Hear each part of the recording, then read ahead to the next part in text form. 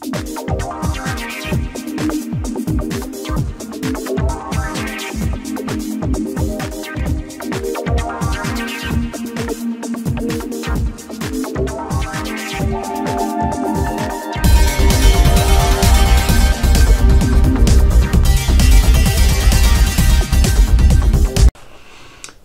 this is Dr. Joe, Adventures with Dr. Joe.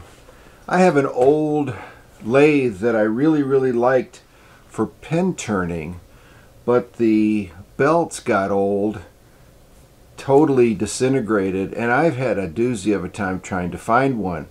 So I think we have an opportunity to make a new belt, custom sized, that may work for this lathe. Let's take a look at the lathe. So this is the lathe. It's an old Harbor Freight direct drive variable speed. Before we're going to work on it, let's kind of take these, let's take the tool bar off, the tool rest. And we can probably take the tailstock off. There we go. So now we just have the lathe body. Right in here are, are the pulleys, and there are two with variable speed. And I got some polyurethane material that's supposedly able to make some belts. Let's take a look at that. So this is where the the belts would ride and I took my caliper and I measured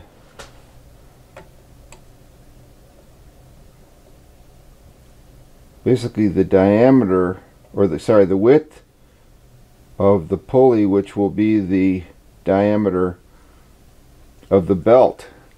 And I got about 4.78 or about 5 millimeters and that's consistent with this with this other side too this is a little bit bigger 5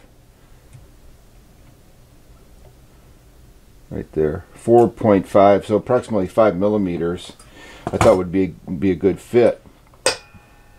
So I purchased this material. 10 feet of 5 millimeter diameter polyurethane and supposedly I have my doubts you're supposed to be able to cut this to length heat it they recommend under an alcohol lamp and put the tips together well let's take a look and see if we can do that one of the things I was encouraged about with this belt or this re belt replacement is I don't have to take the this drive spline out. Otherwise I'd have to take it out of here, pull these two bearings. Now that I've got this as a cord, I can bring it up and over, identify the amount, and basically seal it together while it's in place here, already wrapped around this pulley and I won't have to take this piece out which is a real advantage. I'm going to try to sneak it in here and uh, see if I can get it looped around that. The reason I got 10 feet of this is I thought I'd probably screw up a few times and it was not that much more expensive than a few feet so I'm going to try to sneak it down here. I'm going to tip this over.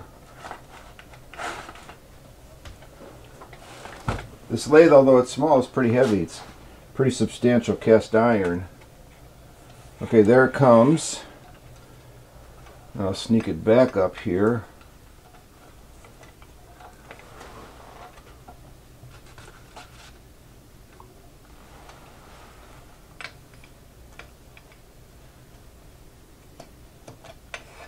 All right, that is excellent. I'll put it on the, the nice pulley here.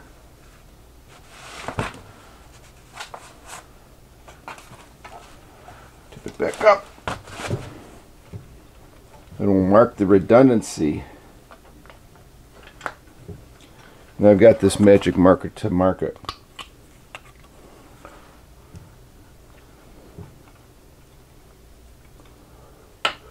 I'll mark it just a teeny bit long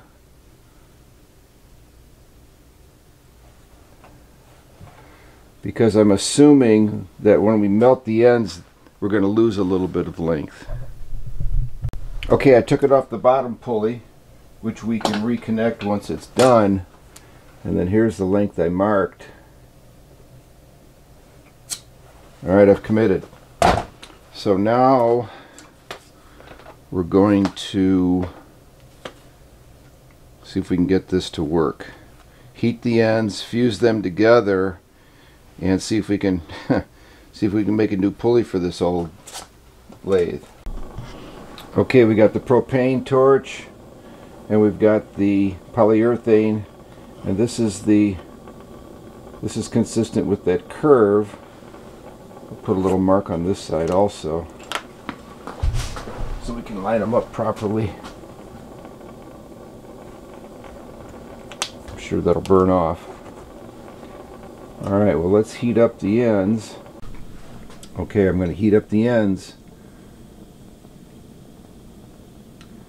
Oh, they're getting hot, fully melted. Okay, we're going to put them together. Try to keep them linear.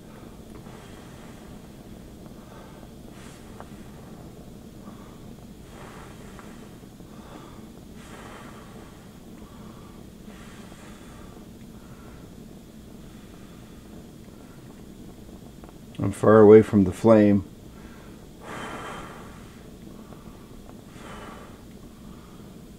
Probably could use an assistant to help me cool this off, but what are you going to do?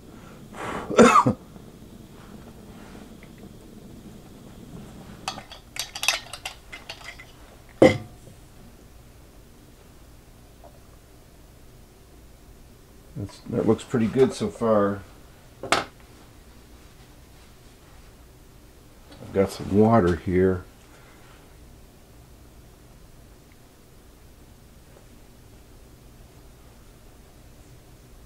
Cool it off.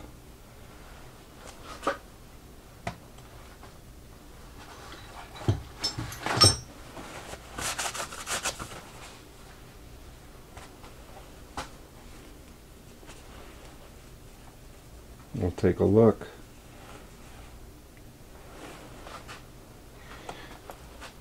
I've got a utility knife to scrape the little excess off because I want it to be pretty smooth. I'll get a little piece of wood to cut against that. Alright, I put a new blade on my utility knife. It's better. I want to make it smooth, otherwise it's going to go dunk dunk dunk. Try to carve off the small amount of excess we've got here. It feels pretty strong. keep our fingers crossed. Alright, you can see here's the belt. I got it through, so I have it on the on the newer pulley.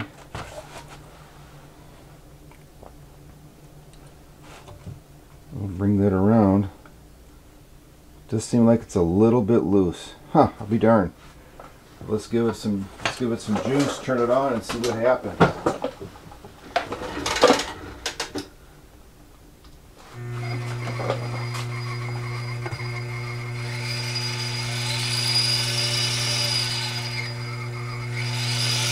Okay, it works. That's pretty fantastic. This this lathe hasn't been working for years.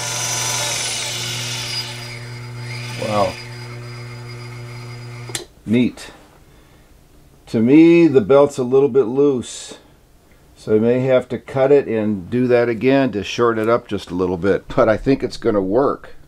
Okay, it works. Remarkable. It's a little long, so I'm just going to cut a segment out, heat it up, hook it back together again. I'm pretty amazed. This is a trial and error.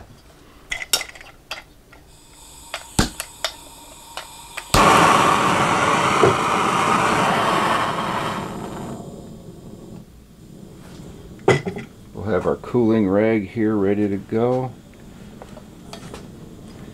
I'm going to heat these back up.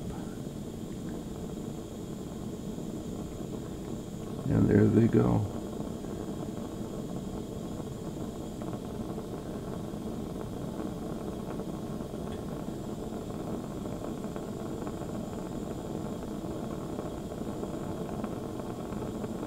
Damn.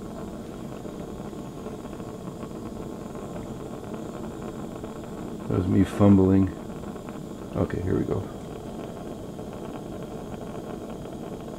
Now I'm just going to hold tight.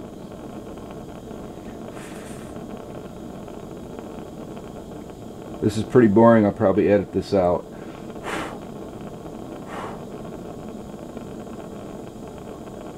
Got it lined up.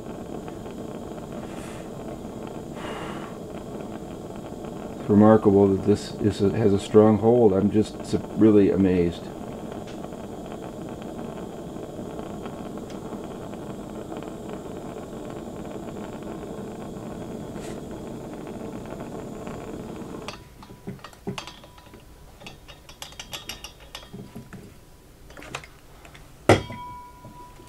cooling it off with this wet rag. Man, we might have a functioning lathe. This is really great. Let this really cool off and then we'll trim it again and give it a shot. Okay, I've got the new shortened belt on. It seems to have a good fit. It's not too tight. Uh, it makes a big difference. Look at that.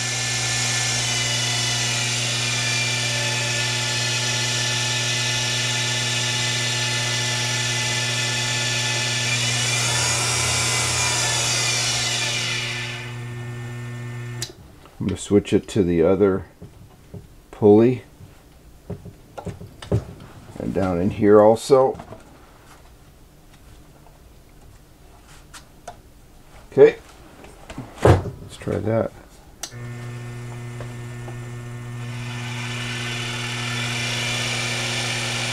Well, there you go. This polyur this polyurethane um, material comes in many diameters three, four, five, etc you can make a new pulley with this. You can make basically a replacement belt for a lathe any kind of a machine that uses this. This is strong. The simple melting of the ends and putting it together does the trick. I'm really surprised and pretty happy so here's an inexpensive way to take care of a problem that's been nagging me for a long time and I've had the inability to find the correct length belt. This is it. So guys, gals, enjoy this. Super simple, very effective. Please subscribe, please click like. Comments are always welcome. Stay safe.